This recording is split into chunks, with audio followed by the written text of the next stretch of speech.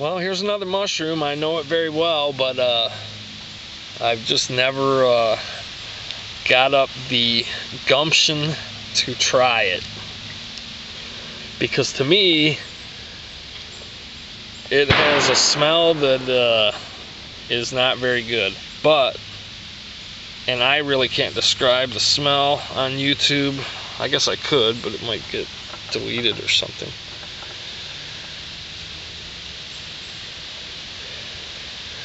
Yeah, these ones are old. When you find these young and you cut them open, it's it's sort of just solid inside, and it to me it almost has the look of uh, on the inside. I don't know, almost like if you sliced open a brain or something. But uh, and on the outside it's about the same, except it's a whitish color and uh, kind of resembles uh, cauliflower.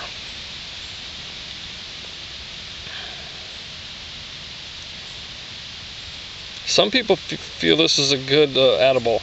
That is the aborted entoloma. And right next to it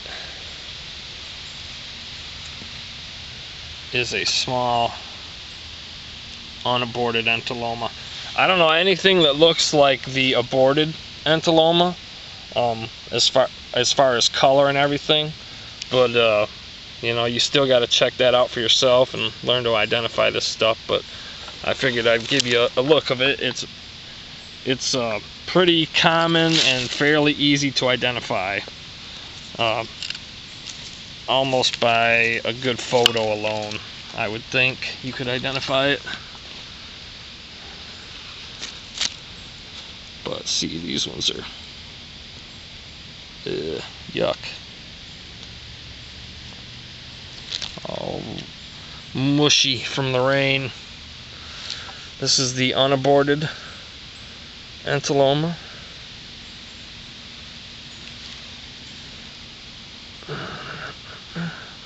It appears the gills run down the stem slightly. And I believe, although I could be wrong because I'm not up on my uh, terminology, I believe they call that decurrent when it runs down the stem. But you can check your field guide and uh, verify that one way or the other.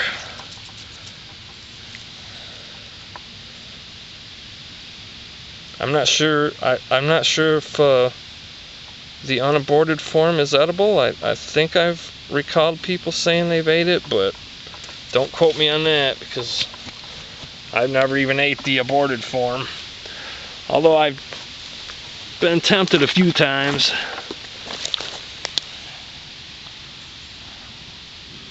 There's a whole bunch.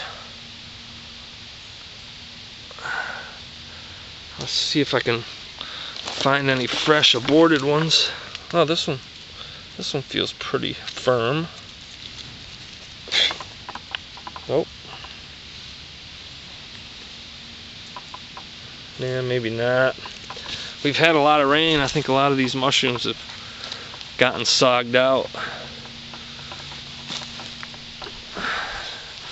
Gotten waterlogged from the rain. Lots of acorns this year, man.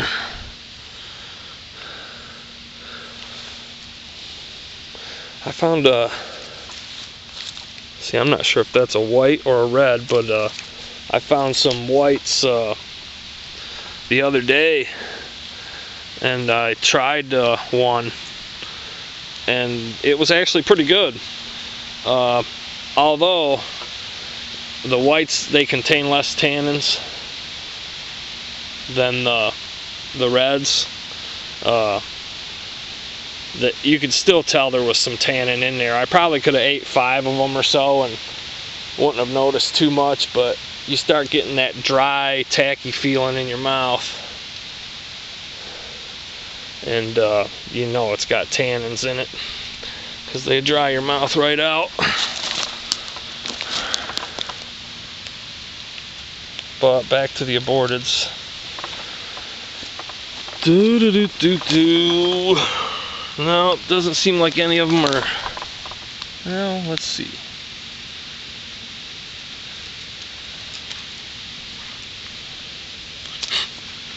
Oh. Got a mosquito trying to assault me. This one might be good. It's still a little bit pink inside, but and it's it's firmer. But they all seem a little bit on the spongy side.